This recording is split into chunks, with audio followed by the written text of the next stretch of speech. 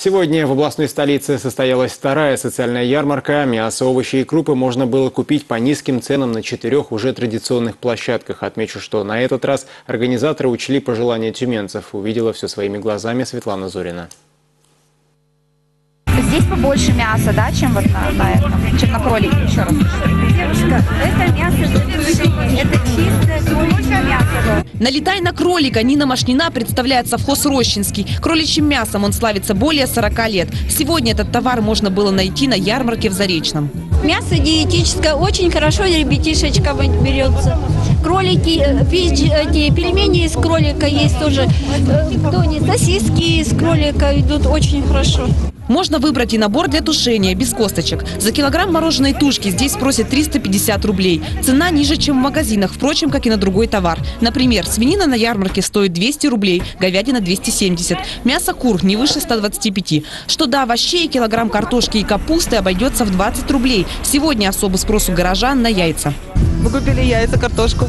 Конечно, дешевле. Не все, конечно, но дешевле. Смотря с каким рынком сравнивать.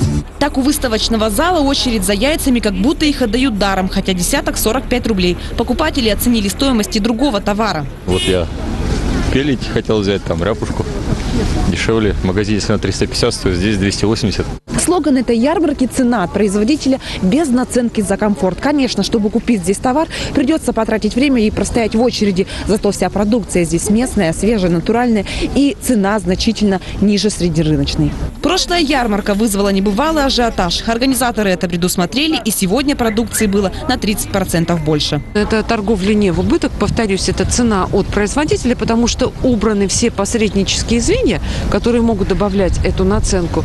И, естественно, отсутствует арендная цена за площадку, поскольку организуется с субъектами, это по распоряжению администрации города, и поэтому этой наценки нет. Следующая ярмарка пройдет 21 февраля, также на четырех площадках. Кстати, по многочисленным просьбам горожан в марте, возможно, добавится и пятая в районе Дома обороны. Светлана Зорина, Евгений Доценко, Тюменское время.